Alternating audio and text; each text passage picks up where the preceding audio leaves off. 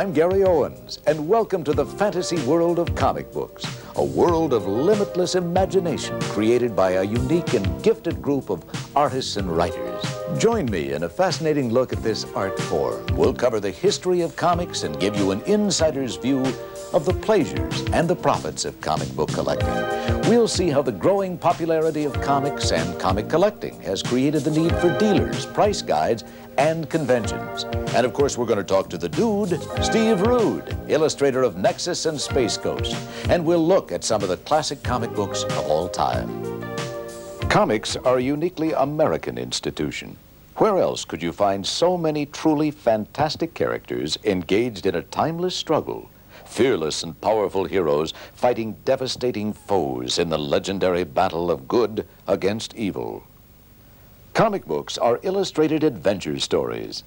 Dialogue is printed in circles called balloons. Characters and action are depicted in panels. In comic book scenarios, the lead characters deal with every conceivable issue, usually treachery of the worst order perpetrated by their archenemies. Now, often the very fate of mankind rests on the outcome. No idea or situation is too fantastic to believe. You never know what to expect when you turn the page. And that's the true fascination of comics. Ever since comic books first appeared in 1933, they've been wildly popular. They stimulate the imagination, and they provide important lessons, and more than a few good laughs. And of course, they all give that one thing people are looking for, entertainment. Early in 1934, Eastern Color Printing Company printed a magazine called Famous Funnies.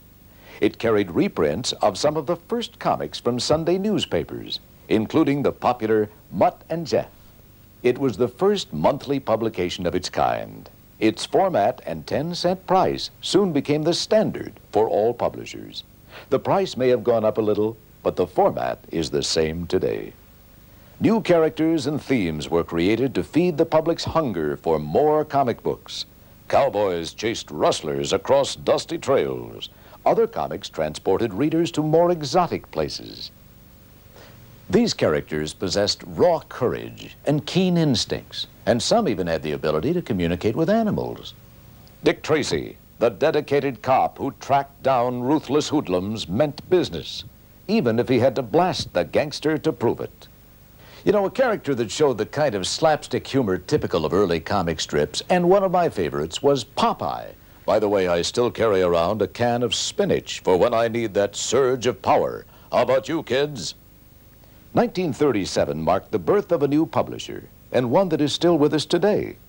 DC was the first comic book to feature original stories whose heroes were based on earlier detective magazines. Later, they developed the superheroes, Batman and Superman. Soon, other costumed heroes showed up everywhere to fight evildoers. In 1938, DC released the first issue of Action Comics, the magazine that introduced Superman, and the era of the superhero began.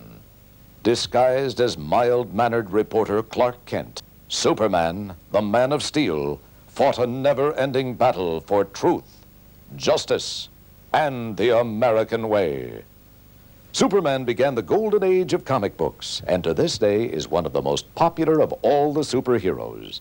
The comic inspired a TV series in the 1950s and several movies.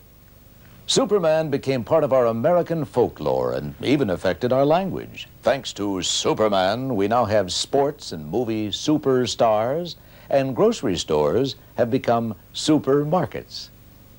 1939 was the year that many publishers of paperback and pulp fiction books made a mad rush into the comic book field. Fawcett introduced the story of a young reporter who was introduced to a strangely dressed old man.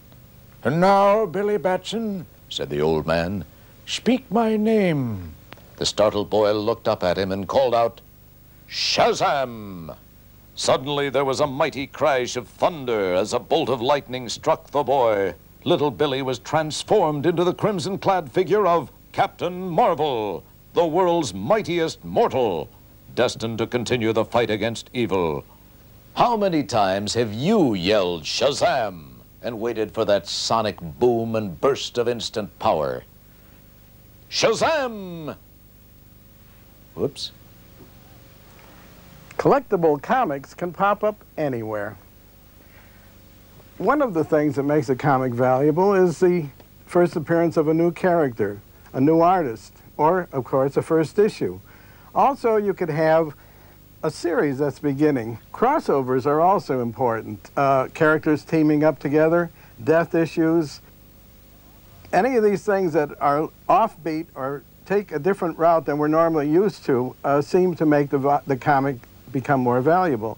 A character like Wolverine is a good example of uh, someone that I don't think anyone can explain why he's so popular, but he's really got a following. This isn't true of all characters. Some characters start out uh, looking like they might go somewhere and then just absolutely nothing happens. Pricing comics is, is really a difficult thing because uh, in some cases they could go, depending on the market, they could change weekly. The Overstreet Comic Book Price Guide is an excellent tool for grading your comics. It at least gives you an idea of what your comics are worth in mint condition, in fair condition, and in poor condition. It's very difficult to find a really good comic especially if it's an old comic, a Golden Age comic, in what we would call mint condition. If it is, you're looking at something that's worth a lot of money and very valuable. But most of all, it lists almost all the comics you can find. Some of even the most obscure comics are listed in here. And that's very helpful because at least it gives you a guide to what's happening. And I guess when they say comic book price guide, that's what they mean. It is a guide and you have to use your own judgment, your own intuition to see just what's happening. You have to reach a point when you look at a comic to know whether it's really worthwhile buying. Some comics are pretty far gone, and even though it may be a good comic, there are those people who, if buying that comic, if it doesn't meet their criteria, they're just not going to buy it at any price.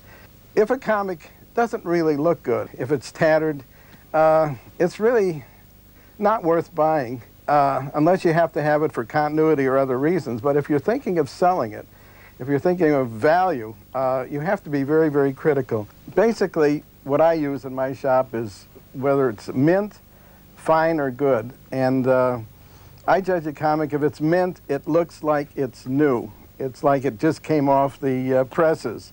Uh, if it's fine, it doesn't have the sheen, but it's in good condition. Um, then there are some in good condition could cover a, a, large range. This could be a comic that's got some spine damage or maybe a little part missing. But you would base that on the comic itself. If it's one you really want, you could be a little more forgiving. It's not a bad idea to really take care of your comics. Read them carefully, enjoy them, get all the pleasure out of them, and then put them away safely, put them in bags, put them in boards, and put them in a good, safe place preferably a cool place. When you're reading your books, the first thing to remember is make sure your hands are clean and put the bag of potato chips away. The best way to handle your book is always support the spine and you can flip through the pages very carefully, rolling your thumb along the sides of the book. You want to be real careful not to bend the back, put the little half moon crease in it. Uh, same thing with the cover. You're supporting the cover with your thumb. You don't want any half moon creases on the cover. If you leave the book nicely rolled like this, you can read it and enjoy it without damaging it. Also, you can uh, leave it laying flat on a table and handle it in basically the same manner. You want to keep it mint uh, for the life of the book, or at least uh, as, as long as you can. A book will deteriorate by itself just with age. And what you want to do is try to slow down that process. Um, there are different uh, types of uh, bags and boards that you can use to keep your comic book in. These are double-side white, acid-free, which I recommend. And the uh, polypropylene bags are a little heavier bag than the polyethylene um, and not near as expensive as the Mylar. So this is a good economical way to keep your books mint. Let's talk about Mylar. This is the forever bag. You put a comic in here and you never have to change it. This will not affect your comic. It also costs anywhere between oh, 60 to a dollar each. So you would really think twice about putting all your collection in a bag of this type. Uh, but if you have your more valuable comics, I say anything, well, you would have to determine that, but anything over $100, I think it's worth the investment of a dollar to put it in here. When bagging a book, you also you have to be very careful putting the book in the sleeve that you don't catch a corner when you're dropping it into the bag. Um, you you want to watch the spine as you drop the book in and very carefully uh, lay it in the bag, not to bend the top. There's a tendency to want to make it look real neat by putting a piece of tape on the back. But that's not a very good idea. We had to learn the hard way from, from experience. What we found is that when you put tape on the back, if you have it in the box or wherever you're storing it, if you have these things all stacked one against the other, in time the tape deteriorates. The tape deteriorates and causes a sticky film to come on the back. And of course, it really creates a problem. The problem's even greater if you have one in a bag and one not in a bag. So I would advise against tape. Even though you would like to seal it down and make sure it fits, I, wouldn't, I would just tuck the flap in.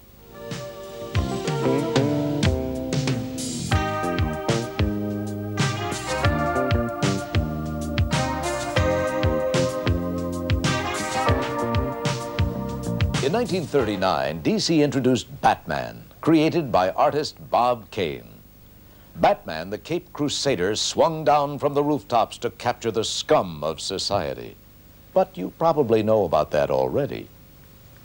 1940 introduced the comic book adaptation of The Green Hornet, then a popular radio program. The Green Hornet, alias newspaper editor Britt Reid, was the great grandson of the Lone Ranger, who adopted the role to carry on the family's tradition of fighting crime. You know, one of the most spectacular characters in comic history was the Human Torch, an android designed inside an airtight cylinder by Professor Horton. Now, when the oxygen valve was opened, the android moved and then burst into flame and began radiating fire.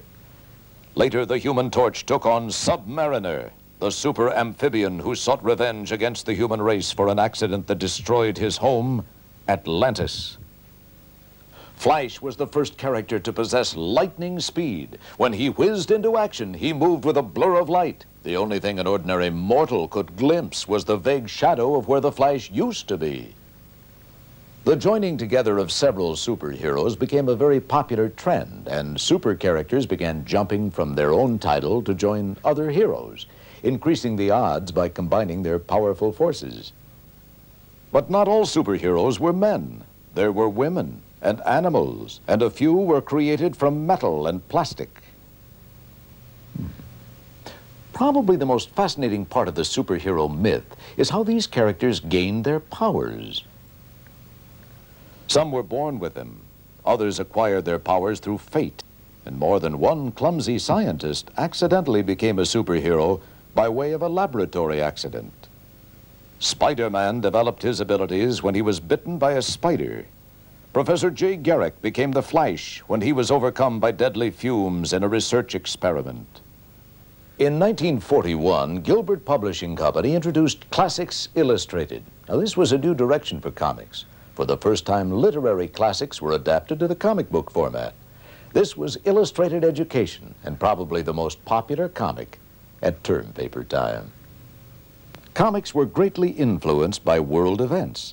The stories reflected the mood and dreams of America. During World War II, patriotic themes were abundant. Comics centered around war fiction, and the superheroes arrived to battle enemy agents. This is when Captain America first appeared, blasting the enemy with a double dose of patriotism. First as a superhero in his red, white, and blue outfit of stars and stripes, and second as Private Steve Rogers, U.S. Army. Kids who wanted to do their part battling the enemy overseas got their chance through comics. When the war ended, the interest in war stories and superheroes declined.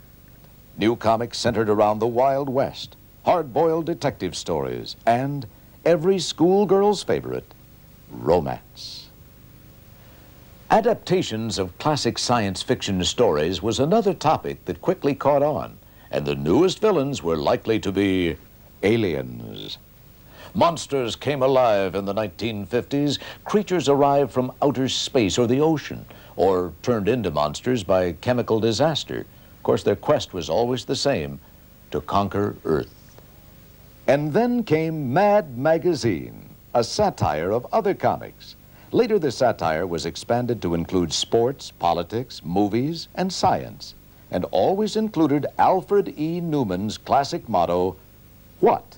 Me worry? Superheroes still thrill the public when they jump from the comic pages to TV and movie screens. Many successful television characters starred in their own comic books as well. And you might see some of your favorite comic characters every Saturday morning on television.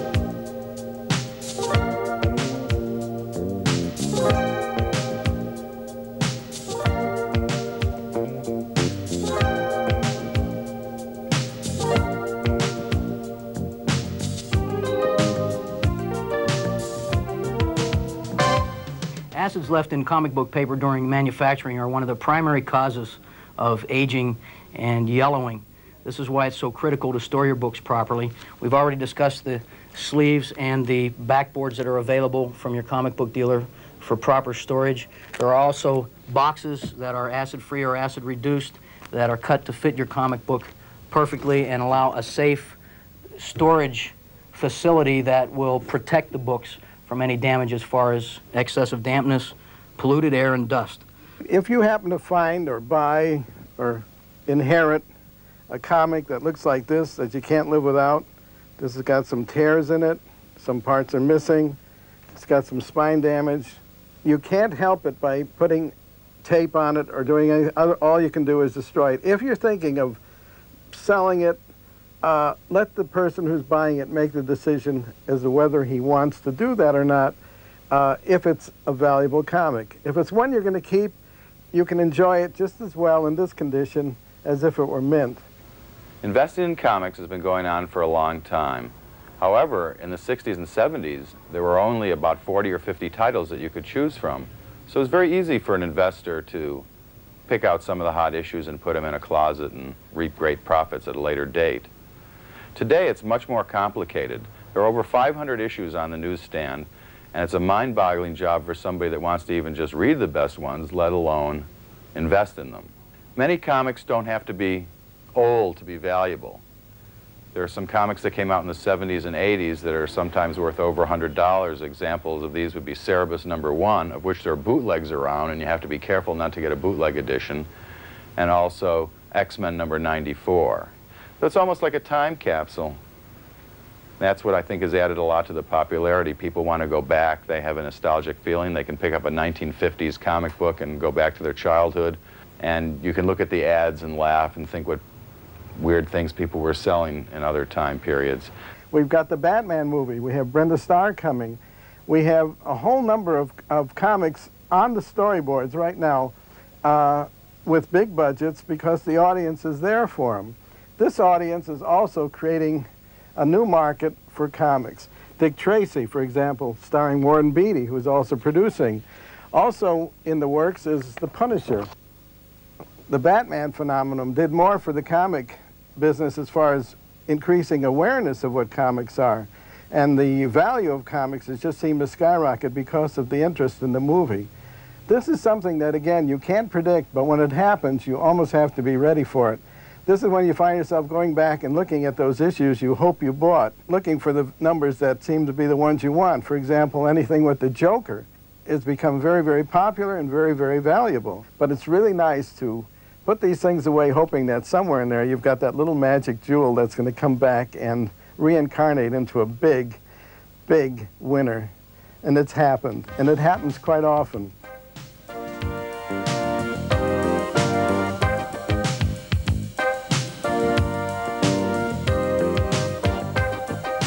Comics today offer titles for readers of all ages. They feature more up-to-date heroes. These characters display something missing from the heroes of yesterday, human fears and emotions. Some of today's comics parody the old superheroes. On the rack next to Batman and Superman, you'll find Normal Man, Flaming Carrot, and the Teenage Mutant Ninja Turtles. In the 1950s, the first 3D comics appeared. And of course, to read them, you had to wear these fashionable glasses. Today, there are many new 3D comics with better graphics and more depth than ever before. But you still have to wear the glasses. that darn jughead. Uh, you know, the more involved you get with comic book collecting, the more questions you're going to have. To find answers, the best people to turn to are friends or dealers and comic book conventions, or comic cons as they're called. Going to a comic convention is like going to dozens of comic book stores where dealers, collectors, and fans can be found trading, selling, and buying their favorite comics and all sorts of comic memorabilia. Of course, there's always the opportunity to make new friends who have similar interests and just talk about comics. There are dozens of shows held each year in most major cities across the country. Hobby magazines and your local newspaper will list the dates and locations of shows in your area. To figure out the investment value of your collection, it's best to review the price guides. Now just remember, the value of a comic book is based on the title, its scarcity, and its condition. Also, comic values will vary according to where you live. Your local comic dealer is a good source to learn about current values and the changing trends in comic investing. Whichever comics you buy, the real joy is that you can collect them and read them over and over again, or sell and trade them for new ones. And now, here's Steve Rude, the dude, illustrator of the classic Nexus. Basically, I was a kid with an imagination. Um, and uh, when I was growing up, I had uh, I had idols that were that were doing certain comic books, and I wanted to emulate them. Uh, only a select few. I was very choosy about the people that uh, that I read and and bought. Uh, the most profound of which was, of course, Jack Kirby. And uh, through him being in a business the entire time that I was growing up, um, it left a pretty marked influence on me in the way that I thought. So when I got into high school. I actually, there was a point in time where I stopped reading comic books. And uh, I remember just for the heck of it going down to a corner drugstore uh, where I was living in, in Michigan. And uh, I walked in there and, and I just wanted to see if, if Jack Kirby was still doing comic books. And as a matter of fact, he was. It was something called The Demon. It was the third issue. So uh, that kind of got me hot on the trail to, uh, to uh, reading and, and drawing from comic books again. The only way to get good at anything is to practice, practice, practice. And that's what I did. It took me a long time. There are people that come into this business at 18 and 19, they're wizards. Getting into the business of drawing comic books for me was, uh, was very difficult. For the first four or five years of trying it, I floundered. Um, I clearly wasn't good enough to get in, but um, one thing I did do was I, I marched out to New York where they were publishing at the time, and I said, look at this stuff and tell me, tell me what you think. And I got some pretty good critiques. 1980 comes along, and I met a guy named Mike Baron. We eventually came up with this idea called Nexus. It was starting off as something like The Executioner, something real standard like that. Uh, we knew there was something better than that, something that had never been thought up. So it was just a matter for us to sit down and think it up. One night I got a phone call from Baron. I'll never forget this. It was about uh, 9 or 10.30 at night, on a really hot summer night in Madison, Wisconsin. And he just said, Nexus. And I knew that was it. I just said, that's it. That's the name. Nexus is basically about a guy who's been instilled with powers given to him by an alien. He only goes after humans. He doesn't go after aliens or anything like that, even though it takes place in the future. And the world he lives on, there is a lot of aliens there. We just uh, wanted to do something that was uh, a little different, something that we felt from inside. And uh, I guess we're doing something right because We've won a lot of awards for Nexus, which feels great. When I'm visualizing characters in Nexus, uh, I kind of take a note from the people that have been doing cartoons, the animated productions at Disney. Uh, they have a certain actor in mind or somebody they've known in their life. I, have kind of done the same thing, and yet there are at least half the characters that are in Nexus are, are nothing more than visual and, and mental composites of people that I've known uh, Sundra Peale, for example, in the comic book Nexus, she's based on my idealized woman. And Nexus, of course, is my idealized male human being. Baron and I go about uh, beginning the process of creating an issue of Nexus by first a script, which, which Mike writes. The script is in mail to me, and I look it over. Now, one of the things about Baron's uh, unique method that uh, is kind of, I guess, kind of dissimilar to everybody else's methods is that he breaks it down with actual stick figures. Actually, they're, they're, a, little, they're a little more than stick figures. I take it from there, break it down, and then I, I, I go to uh, the full-size treatment. They're originally broken down very small, so I can see at a glance how this thing works together, how a page is broken down, how it flows. These things are very important. And from there I go to the full size and just look, at, you know, using the, uh, the thumbnail sketches as my guide, I take it from there. Then, then the work gets passed on to different individuals from there on. But basically, the production line of a comic book is pretty small compared to other lines of entertainment. So we, we keep it within the family, and hopefully things don't get too screwed up by the end. Hopefully it comes out looking pretty much the way that we want it to. The Kirby books, anything Jack Kirby did was, this wowed me to death. And uh, a few other things, even at the time of discovering Jack Kirby before, the first of which was a cartoon show, primetime cartoon show called Jonny Quest. And that was one of the big ones in my life. And uh, there was a show soon to follow that, uh, two years later, that uh, made a, a, even a bigger impression, and that was something called Space Ghost, which I was lucky enough to actually do the comic book adaptation of that later on. In fact, I just got done doing that a couple years ago. By God, I was, I was on a mission from God when I did that. That was hot stuff. There's so many things that you have to know to draw comic books. I don't know, I honestly don't know why they have this juvenile persona surrounding them. Because the, th the things that a comic book artist has to know how to draw is basically everything. We have to know every fundamental uh, law of nature there is, every fundamental law of artwork, which is perspective and composition. And we have to know, we have to, we have to be able to interpret film movement and things like that. We have to, uh, um, you know, things that are incredibly complex. Most people in the illustration business deal with one aspect of that. We deal with everything. You know, I had to draw a cat one time. How do, what do I know what cats look like, you know? I had to learn. I had to learn real fast, too, because things have to be batted out pretty quickly. When I got out of the Batman movie, boy, I was, I was really hot to try it. I had a million ideas in my head. And since I'm working on a Batman project at this moment, um, I saw a bunch of things I could have added.